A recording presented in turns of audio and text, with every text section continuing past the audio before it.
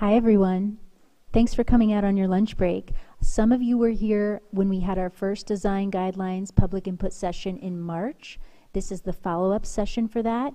And since then, um, we've been busy working behind the scenes with the team at Perspectus out of Cleveland, who is our consultants working on this project with us to kind of take into consideration all of the input and concerns and suggestions that were voiced at the March meeting. We had to delay this meeting a little bit for a number of reasons, but here we are, so thank you for your attendance and participation. I just want to say that from the Erie Downtown Partnership standpoint, and I'm Emily Fetchko, acting CEO of the Erie Downtown Partnership, our role in this is really to help leverage and incentivize good design of the built environment, something we care very much about. It aligns with our mission of creating a safe, welcoming, and fun downtown. Emphasis for this on safety and welcoming. We want to create those welcoming spaces, and that includes the commercial core.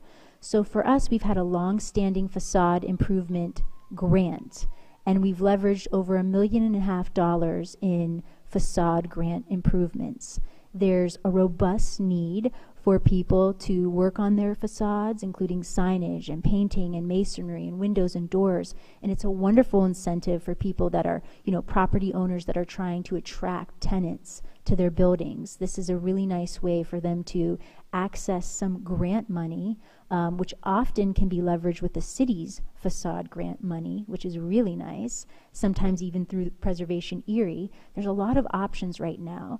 Things have slowed down a little bit because of the pandemic. Costs of materials are really going up in price, but we hope by giving people a playbook to reference as far as what to consider and when, um, really making those suggestions on materials and suggested colors, but more importantly, what I'm really excited about and what Perspectus is going to share with you is, you know, using this as a true handbook and tool to access resources and information about how to go about considering a facade improvement or maintaining your facade or doing a repair. There's a lot of information out there. So being able to curate this in one snazzy little handbook is really important. We'll make it available on our website we're going to have educational materials, which will be the next steps after we finalize these design guidelines. Very much a working draft right now.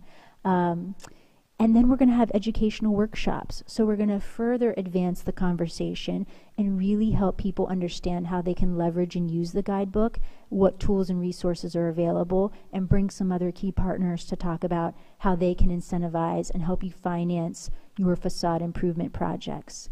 So, with that, I do want to thank our advisory committee. We have one member here, Melinda Myers. She's been instrumental in this project from the beginning, so thank you, Melinda, so much.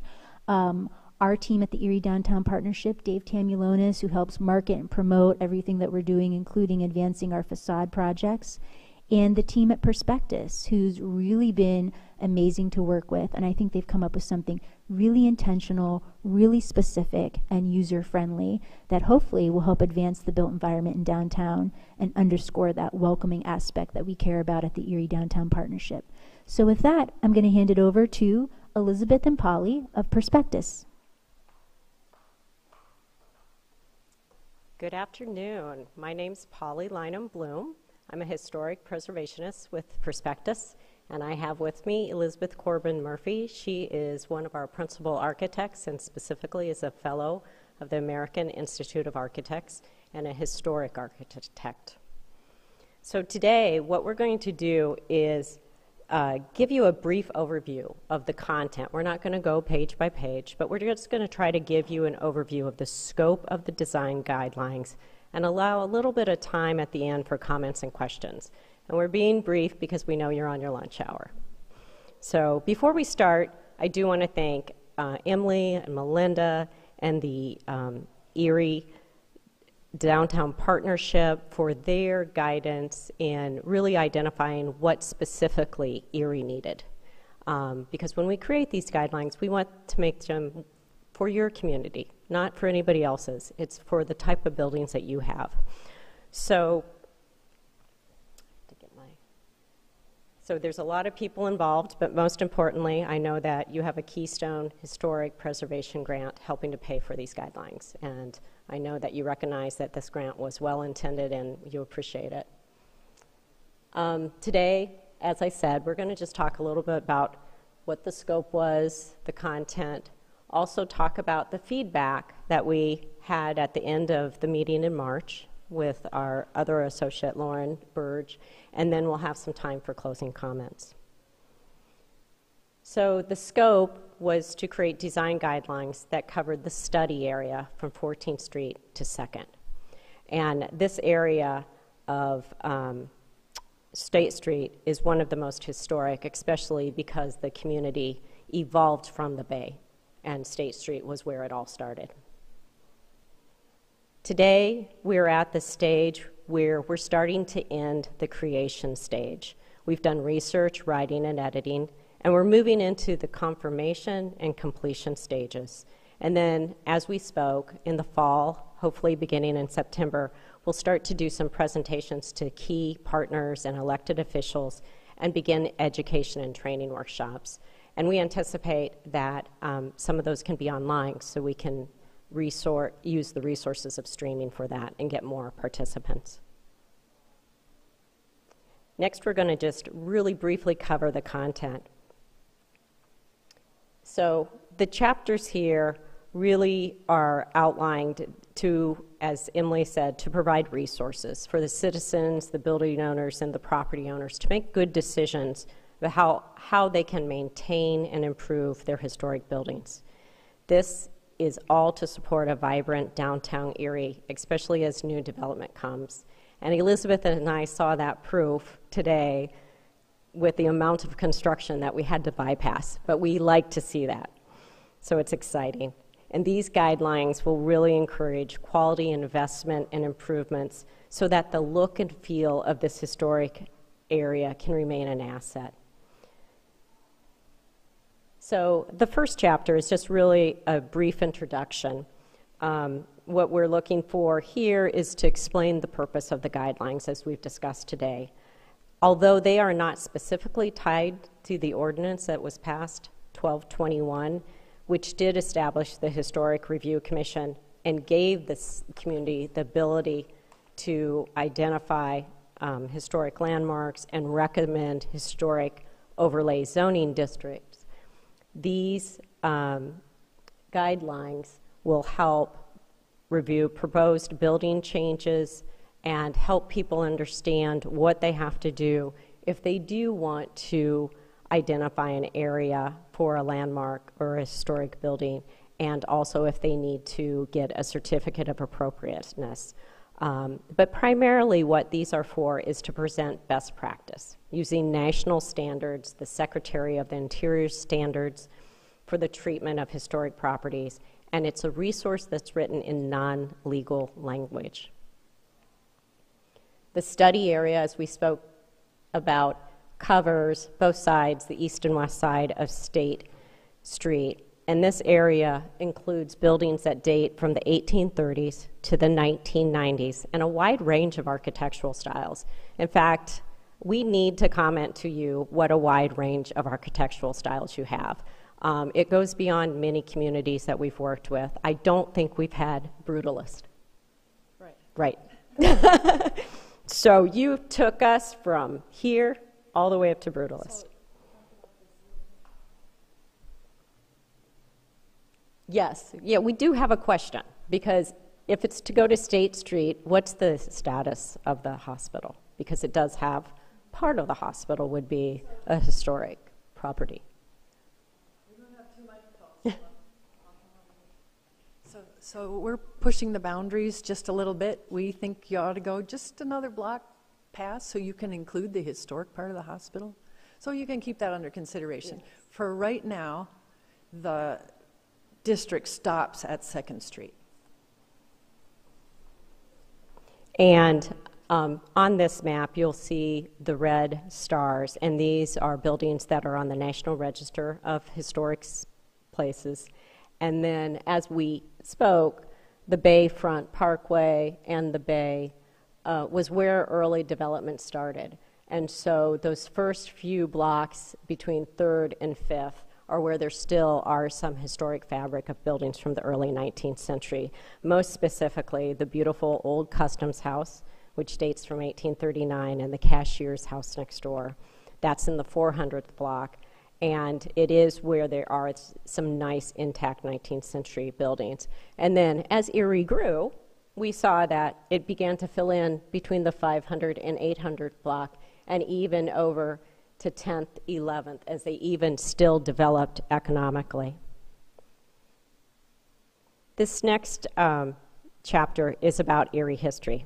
Um, I really have to say um, it was eye opening as I looked at the history of Erie, and I'm not going to try to go into it really long. I'll try to try to start at 1300 BC and take us up to. but um, in Erie, I think um, one thing that's important is the fact that this area actually dates back to 1300 BC. The Paleo Indian people settled in the Ohio Valley in western Pennsylvania after crossing to Alaska, probably on a land or ice bridge for northeastern Asia.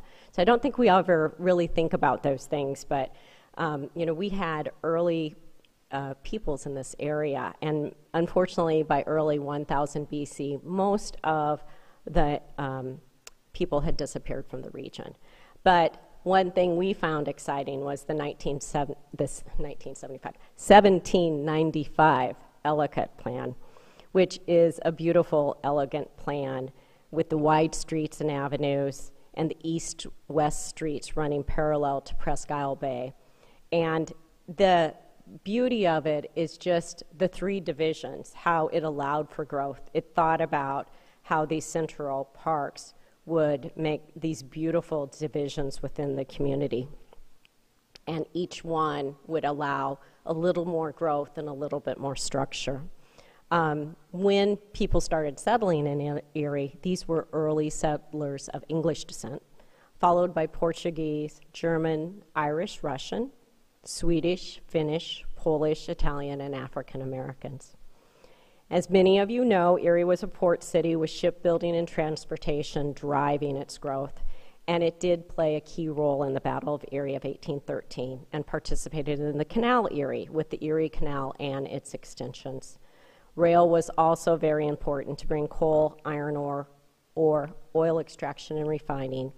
And this port was a busy spot. In fact, we found that in 1890, the city directory had 40 hotels right in this State Street area. We also, in this area, cover the population, government, and culture and discuss the legacy of important architecture, with, which Elizabeth is going to cover. Um, we're excited. Erie has both high style and vernacular architecture, and it really represents the development of the community as you proceed up State Street. So, with that, I'm going to pass it to Elizabeth.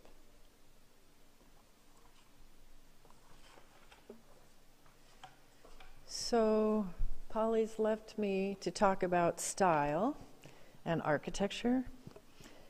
And we have listed here the ways that we classified the architecture that we saw. And I will tell you that your interpretation of a style can be just as legitimate as my interpretation. So if you want to say, oh, well, we put Italianate details on this building, and somebody else says, no, no, they're Queen Anne, you might be separating by two or three years.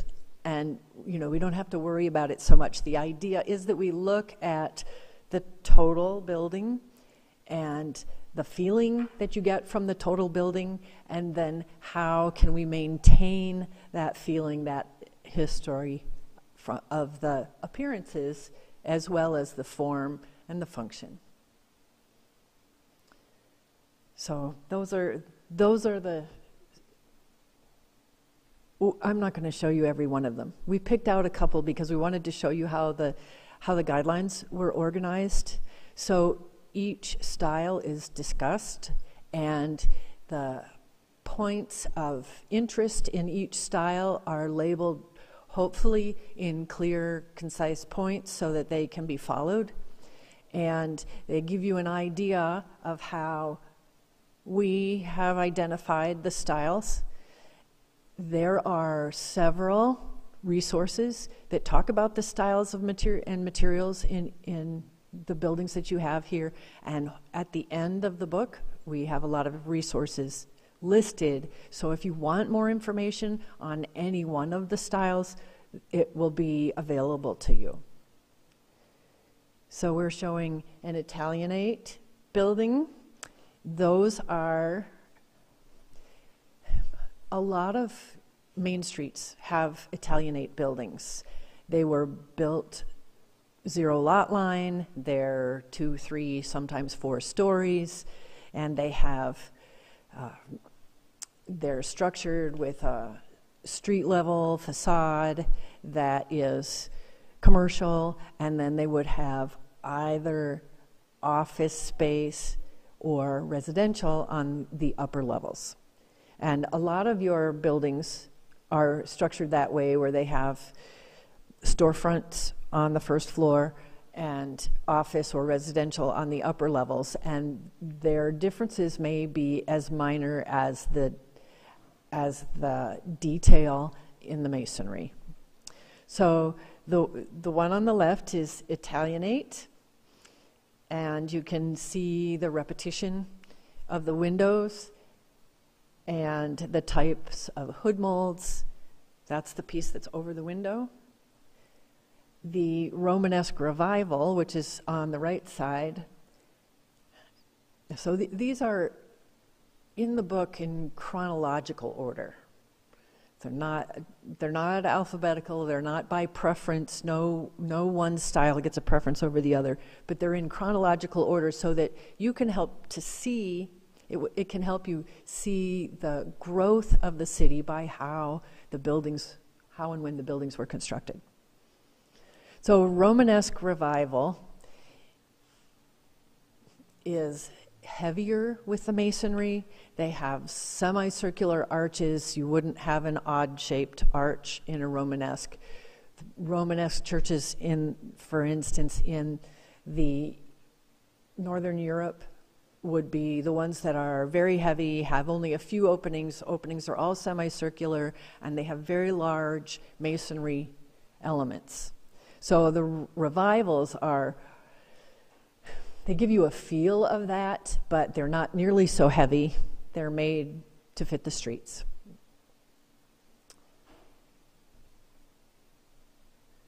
So this one we're showing you as a 20th, early 20th century vernacular. So, vernacular is a word that architects love to use. It rolls nicely off your tongue, but there's no way you're going to know what it means unless somebody tells you or you look it up because it, it's just one of those words. But vernacular has to do with how the architecture stylistically grew from the area. So the vernacular in the South is different than the va- vernacular in the North and different from the East Coast to the West Coast.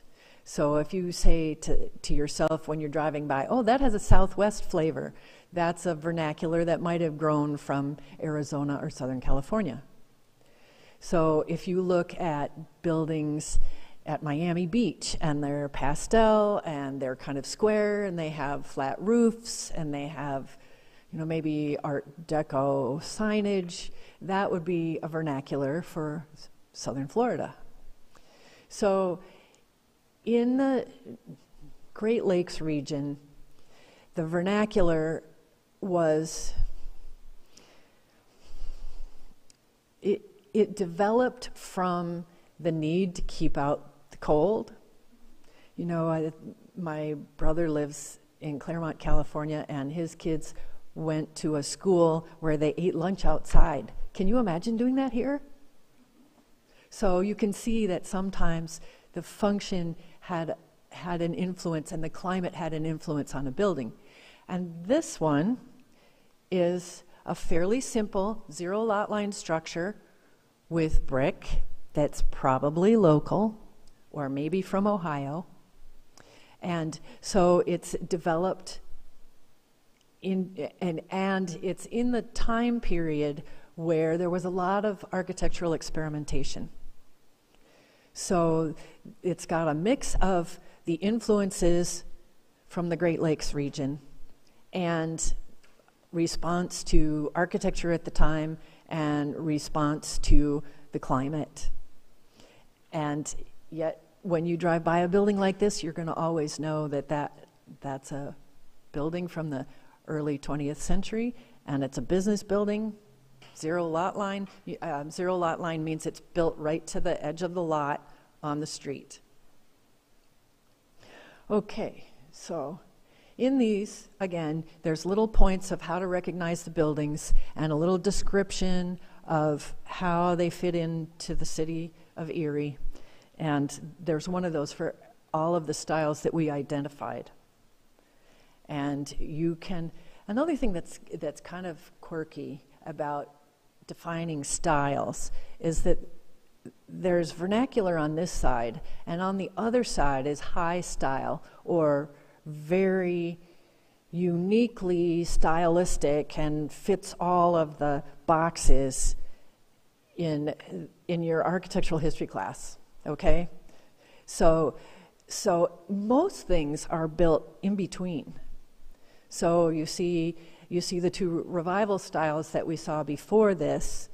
They, they might have, they, even though we're, we're trying to build a Gothic revival, it might have some influences from the styles on either side of it chronologically. So the idea of finding the perfect style is, is um, unrealistic. So even when you're writing National Register nominations and they ask you what style it is, we sometimes discuss it with the State Historic Preservation Office because we have one idea and they have another idea and we might both be right. So it's okay for you to have an opinion about your building and it's okay for you to love it for certain reasons or not love it for certain reasons, but each one of those characteristics that are stylistic go to the flavor of the downtown and the flavor of the main street. So we like for you to appreciate those quirks when you rehab a building or when you preserve it.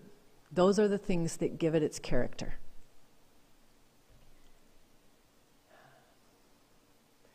Okay, so uh, we have crafted these guidelines with a philosophy in mind, and, and I started to introduce that to you by talking about the character of your building. When you look at the standards for rehabilitation, which are the national standards, um, and I think I'm going to stop here and step sideways a little bit. The Secretary of the Interior standards for rehabilitation are the guidelines that are published by the National Park Service. And even though we reference them often here, because the, in my mind they're very good common sense guidelines, you're not required to meet the national guidelines unless you're using federal money. Okay? So if you're going after uh, historic tax credits or if you're using a Save America's Treasures grant or a Department of Ta- Transportation grant, then you must follow the federal guidelines. If you're not doing that and you're not using federal money, then the requirements are local. And so we're giving you this guidebook so it helps you keep tidy with what's going on in Erie without, without the worry of a cloud over you that says this is the national standard. So I, I, need for everyone to understand that because this is meant to be a user's guide and a piece that makes owning a historic structure fun, basically. Certainly, when you're waiting for the building materials to show up or, or the contractor's late or something, it's not always fun, but working with an historic building uh, can be fun, and, I, and we would really like for you to think of it that way. Okay, so I'm going to talk just a little bit about architecture and preservation and design philosophy. And Polly and I were talking about it on the way up. Maybe we're going to make those drawings bigger. So when you're looking at a building and trying to decide whether you're building a new one or rehabbing your building, you want to look at the context.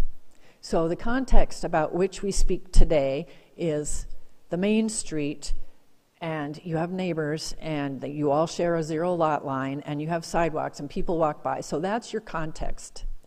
So for you to put an infill building in between the historic structures, it doesn't have to match the historic structures, but it needs to respect their form. So it would be out of context to build an infill building, you know, in, in, an empty lot between two historic structures. It would be out of context to take that building and push it back 100 feet and then park on that side of the lot. That would be out of context for your downtown Main Street. Um, some of the other things we think about is that most of these buildings are two, three, four stories. So if you were taking an infill building between two three story buildings to build that 12 stories high is kind of also out of context. So uh, does it mean you can't do it? That you get to talk to the city of Erie about. But those are the things that you want to think about when you're considering how to address your structure. So after we get over the big things, the context and the height and the si- sitting on the lot, then some of the other things come into play, like the materials. If the if the building is brick, we generally like to keep it brick. So the guidelines will have resources on how you can repair brick or um, if there's some pieces missing, how you might replace them. And you want to look at the storefront, and if the storefront is all open, it's good to keep it all open rather than close it up. So some of those are some of the things you want to look at. Also, you want to look at the the, the materials. You you don't generally put vinyl over brick or historic stone. I, I mean, I know that's an extreme example, but we try to see if we can't work with the materials that are there. Now, does that mean you can't ever use replacement materials? No, it doesn't. But it's important to look at the characteristic of the materials and how it fits in with the building and how you can more easily repair them without, frankly, without running up your costs. If you can manage what's there, it keeps your costs down. So that's a really good thing to think about. Uh, when you're looking at following the philosophy of design guidelines, generally we talk about keeping the historic characteristics, which is what we just talked about in the styles. So if you have brackets on the building, it's nice to keep them. If if you have hood molds on the building, it's nice to keep them. If you have double hung windows, it's nice to keep them or replace them with like windows, like replace them with double hungs. Some of those kinds of things. And these are all philosophical approaches to the design of the building. And that hopefully is all for the betterment of your structure not meant to be a restriction. So I'm only giving a few examples here, and that, and that gives you an idea of how you might approach the design of your building. Let's see here.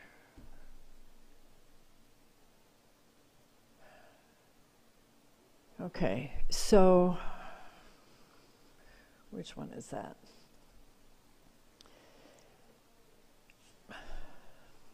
I think that I've talked about this a little bit, so we're just going to go. General recommendations. So I think that all of you would be very disappointed if the Warner Theater took down that marquee, right? And um, I also imagine that there's been a time period in its life where that's been discussed because it becomes difficult sometimes to maintain these things. So that is a perfect example of a building characteristic that would completely change that building if that were to come down.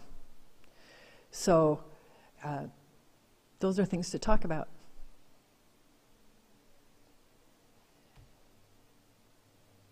Ah, doors and entries.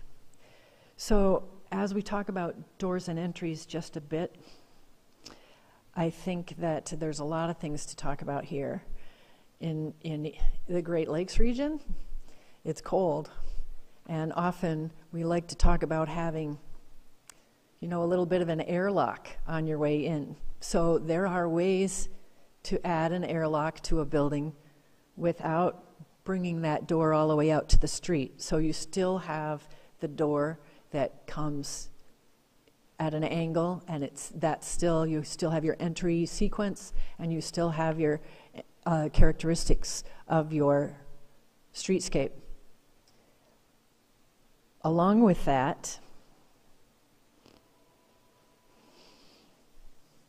along with that we have accessibility issues so this door in particular has a four inch step and those of us who are able bodied take those steps for granted.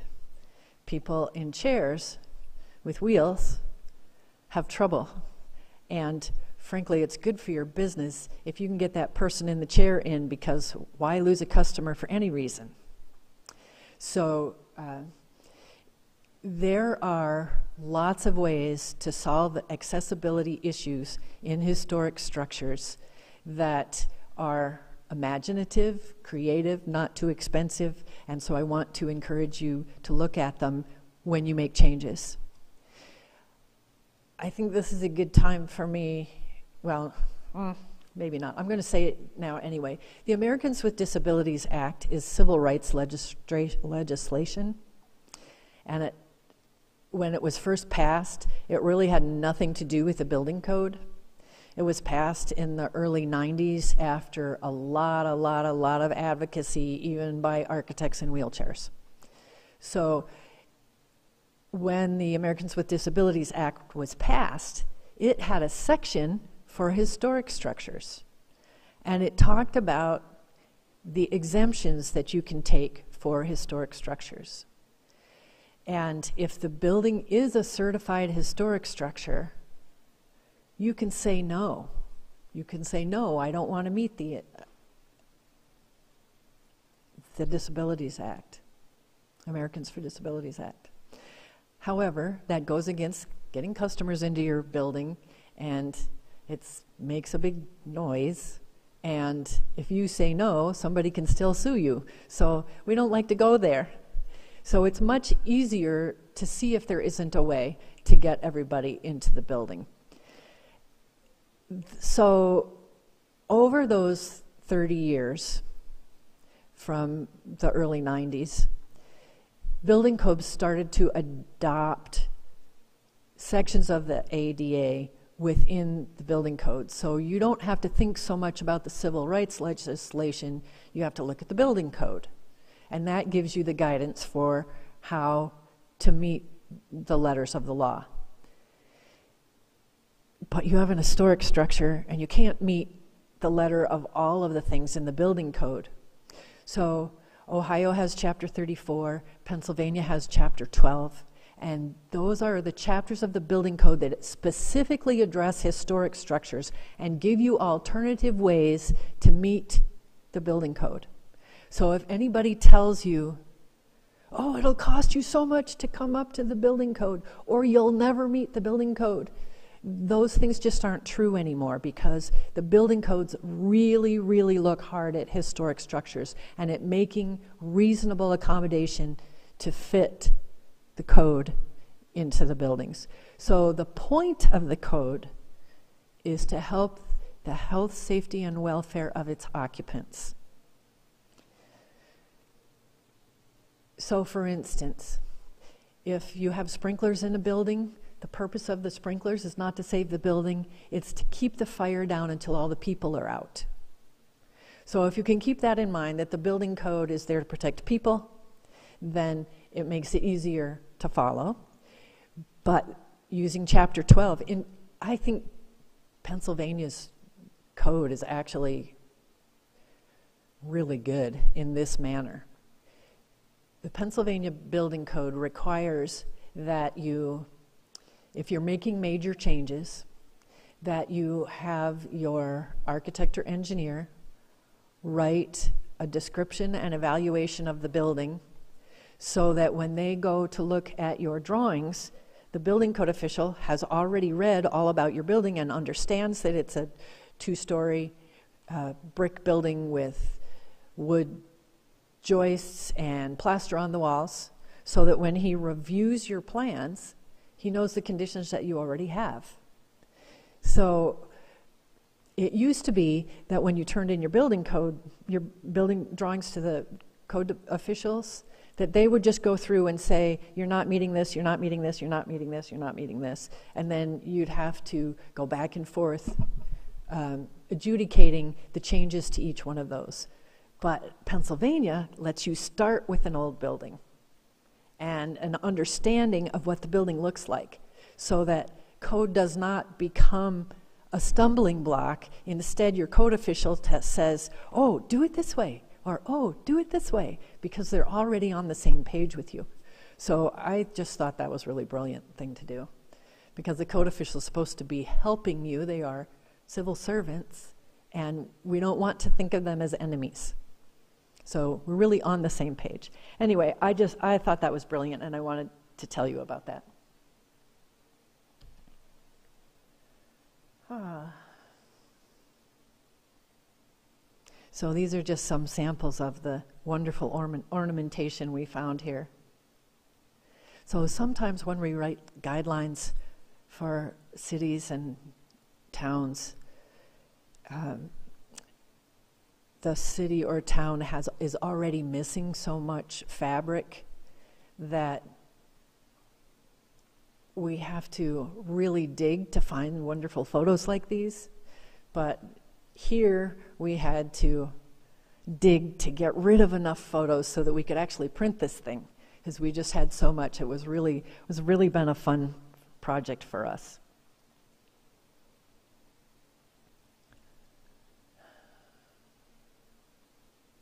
Okay, so I think I didn't follow your order, Polly. So the building that we're in is considered brutalist. And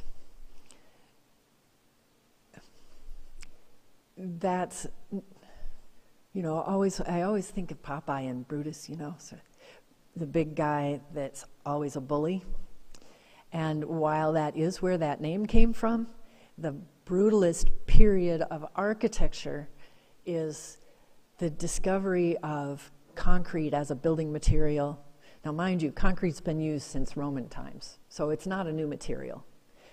But there's been a lot of discovery in engineering concrete, and so there was a lot of experimentation in the late 20th century on buildings that are constructed with concrete.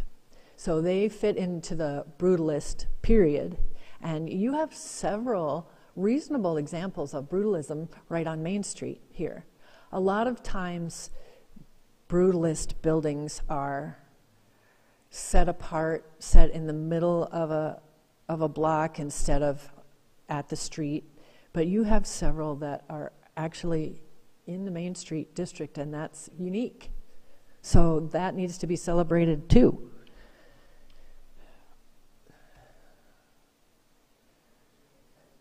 Yeah. Okay. Yep, I talked about that too. I really went out of order, didn't I?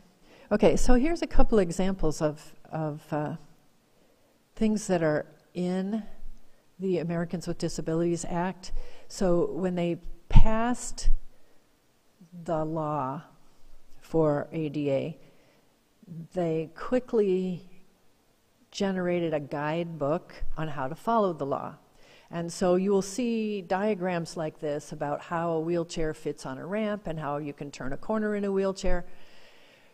Wheelchairs are not the only, people that cannot walk are not the only disabilities that are protected by ADA. So we have a lot of other things like can you hear or can you not see or you know sometimes you're disabled you know I broke my heel and got to practice this, you know, because I couldn't put any weight on it and I was on crutches for way too long. And but I got a lot of experience in in what people who are disabled deal with every single day.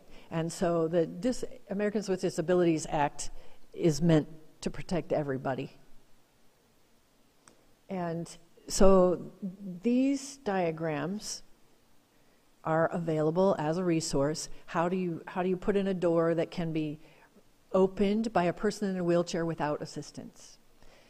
And how do you put in a ramp that works? So there are some successful ramps out here on Main Street. Some of them, I am guessing, were compromises with the building code officials, and some of them are really well done. There's one that's uh, changed the slope of the sidewalk really gradually in front of the building so that you could get into the building. But that, that other door that I showed you that had a four inch rise, there was probably enough room just to slope from the door to the front sidewalk. So all you would have to do is take out that one piece of concrete and slope it down so then you could get in the building. So that one was probably easy. Um, so there's a lot of solutions for those kinds of things. And hopefully, our section on maintenance and repairs gives you just an overview in your head of how you deal with these kinds of things because there's no way you can learn everything there is to know about masonry by reading the two pages in the guidebook. But at least it will give you an idea of maybe lingo, how to talk to somebody, um, things that you should be aware of. Um, Polly and I are in the historic studio in our firm of 50 people. And we have these people that do multi million dollar buildings for the Cleveland Clinic come over and ask us how to deal with the historic masonry in the building next door because they don't have a clue. You know, they do the new stuff, and we do the old stuff. So, so in this lower photo, you see that star? That star is likely not ornament, but the end of a steel rod that goes through the building holding the two sides together.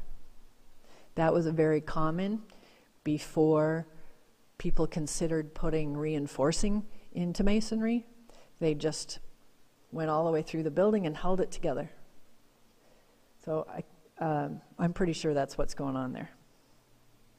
Now, right next to that is some brickwork that's been patched with incompatible mortar. So those are things that are so easy. You just buy the right kind of mortar the first time around, then you're fine. It doesn't cost any more. Oh, demolition. Do we have to talk about demolition? So there's preservation by neglect, you know, where you're happily find a vacant building that's still in good shape that to fix up. And then there's demolition by neglect, where somebody lets his building run down thinking you'll let them tear it down because it's already run down. And those are things that the city gets to deal with within their own uh, planning and zoning regulations. But hopefully, these guidelines will help you so that we don't run into those problems as often. Often, cities have an ordinance for demolition that will require a report be written before the demolition it takes place, especially if it's in a historic district or if it's listed in the National Register. And the report has to state that they've tried really hard and they can't find anybody to take the building from them. And then sometimes they have to have a period like 90 days or something where the building owner must advertise this building is being demolished unless you want to buy it. So that those are things that go on with the planning department and every city is different in how they handle those, but there are ways to keep these buildings from disappearing and there are times when the buildings really must go. And I've had people tell me I should never say that out loud, but that's it's the truth. Not every building can be saved. So we did we really have to say that today? I suppose so. Yes. Okay, so we have appendices which have, um, we have a glossary. It's, it's good, it tells you all the lingo. And we have the Secretary of the Interior standards that I told you about. So, why is the Secretary of the Interior? So, the way things work is that there's the city level, and then the state level is run by the State Historic Preservation Office. And for you, that's under the Pennsylvania Museum Group. And uh, then above them is the National Park Service, who issues these guidelines, and the National Park Service is under the Secretary of the Interior. So all of these standards, and they have them for everything. They have them for rehabilitation, they have them for planning, they have them for, for architects' experience. But the Secretary of the Interior standards are all under the, the same, the Secretary of the Interior takes care of the built environment as well as the natural environment. So, I don't know. Do we have? Oh, there's the glossary with more cool pictures. Uh, oh, this is a good thing. This is an inspection checklist.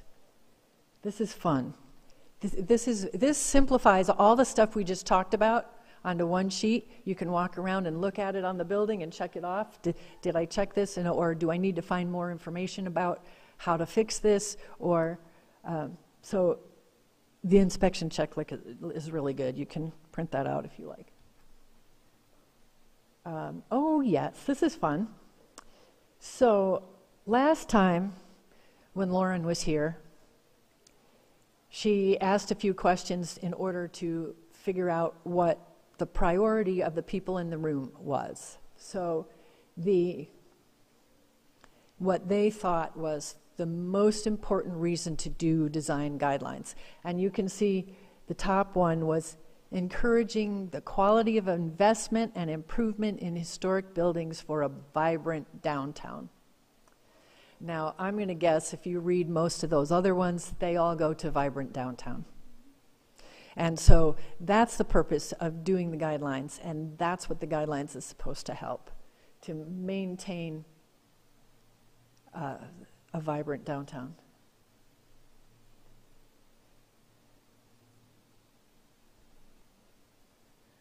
Uh, and which is the most pressing design challenge?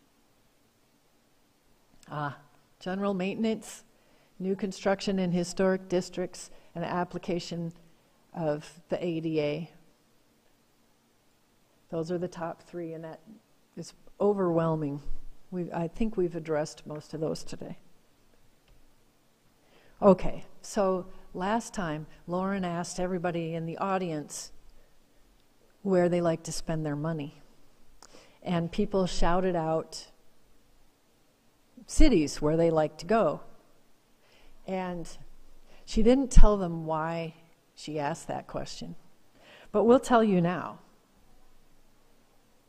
We wanted to see if the places you like to go have design guidelines. And the ones that are in bold have design guidelines. So it makes you think that, I hope it makes you think that design guides are good for a vibrant downtown and for places where people spend their money. And I want to tell you something that's really interesting. Lauren and I have been asking this question at these kinds of meetings for over 20 years. And no matter what combination of cities that we got, whether it was Paris or Rome or Mexico City or, or Streetsboro, Ohio,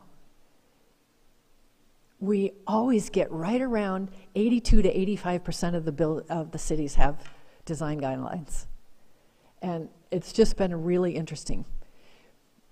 But if 82 to 85 percent of the of the people who are getting your money are using design guidelines, that kind of tells you that maybe you want to use them too, so that they're getting money spent in your place too. And Erie really has a lot. You know, when we come in from Cleveland, we get off a 90 and come in along the water. And it's just so much fun. It's just really nice to see Erie from that direction and to come downtown. So I hope that we've given you some things to think about. And if you have any questions, we're very happy to answer them.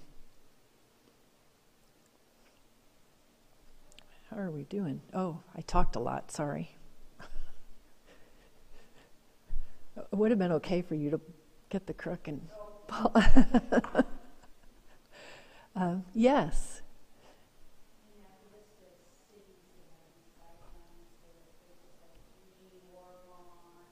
Mm-hmm.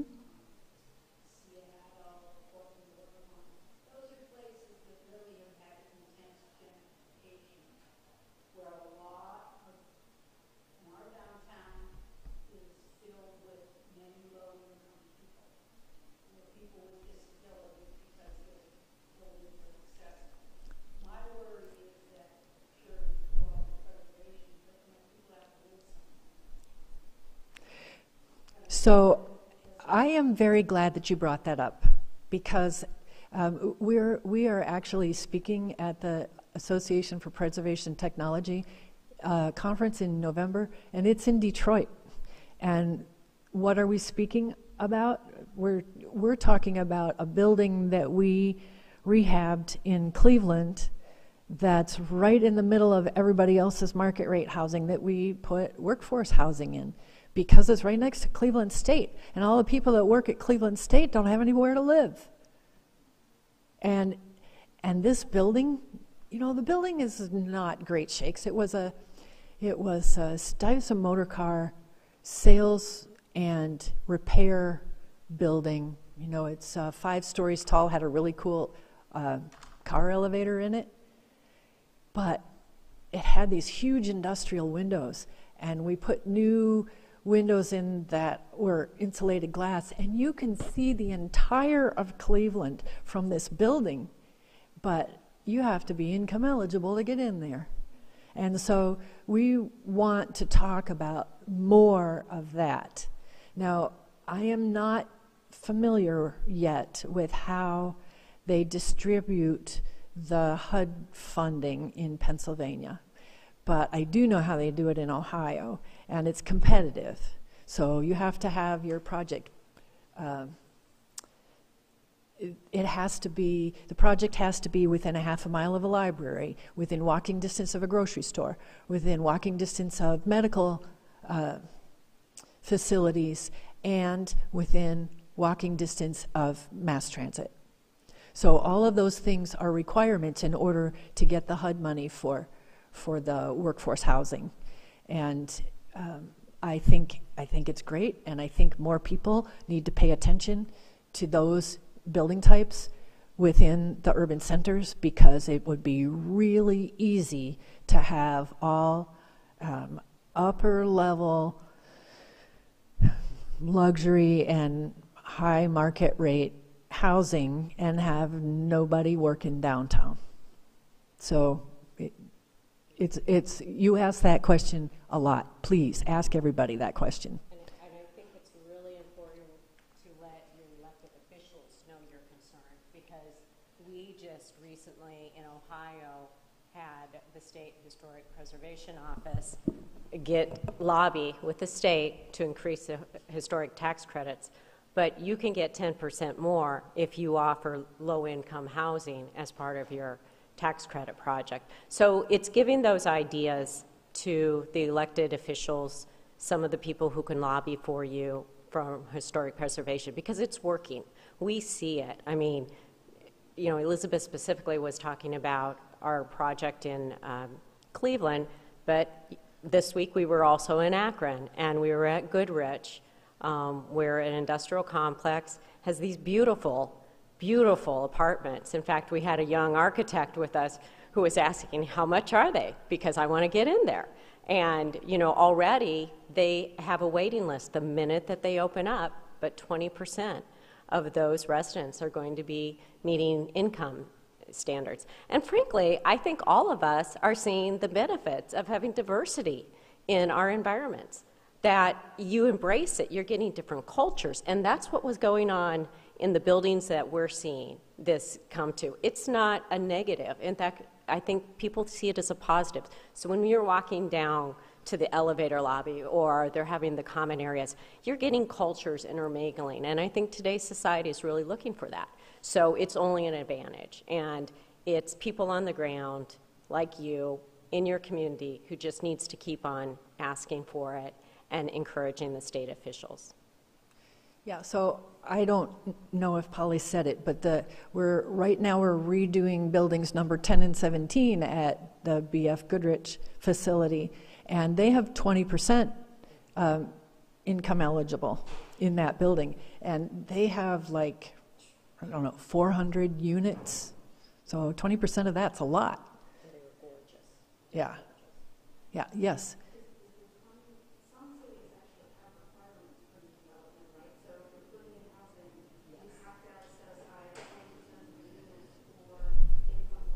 Yeah.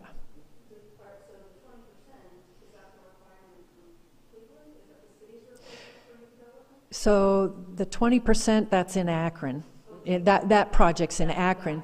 But And Cleveland is doing it. Yeah, Cle- Cleveland, Cleveland, when it has certain funding. yes. be Yes, if you, if you go after certain funding, then you must include, you must include uh, income eligible. Yeah, like Tower, y- many of you probably know Cleveland and Tower. you know, Tower City. Tower City, Terminal Tower. yeah, Terminal Tower, yeah. the- Tower City's old name. Um, Terminal Tower has that requirement. It's part of the capital requirements, and that- which are multiple layers. You know, they probably have HUD, they probably have Yeah. some tax breaks from the community, and so they build that in. But once Right. again, it's, you know, just reinforce with your community how important it is, because So- it does work. It's, you're, we're starting to see the Right. benefits. Some, sometimes it, it makes the financing layers look really complicated. However, if you can, the, the other, the other situation, what the city of Cleveland has is they have TIF financing that you can't have unless the building meets the energy code. So that's, yes. Oh,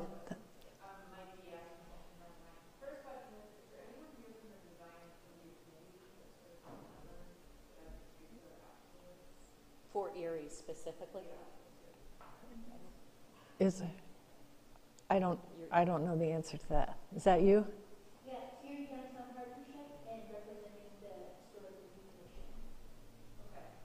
And the second question I have is, has there been any discussion yet with the Green Building Alliance?